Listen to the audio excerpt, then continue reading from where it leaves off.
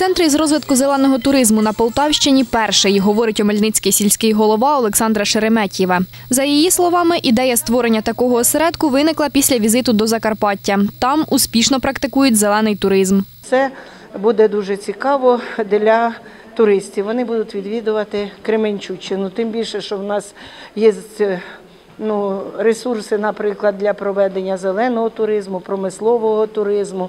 Е, На, на нашій території велика ріка Дніпро, Кременчуцьке море.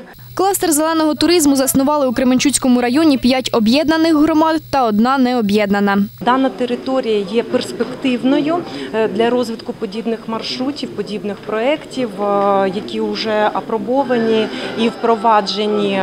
Перші етапи впровадження вже є і в Київській області, і в Рівненській області, Пирятинський район Полтавської області також е, в перспективі. Директор Полтавського центру розвитку місцевого самоврядування Ірина Балибіна каже, такий проект унікальний у межах не тільки області. Перше, застосуванням норм законодавства про співробітництво громад е, заснували комунальну установу кластер зеленого туризму. Ми сподіваємося, що цей приклад, і ми віримо в це, ми знаємо, що це дійсно так.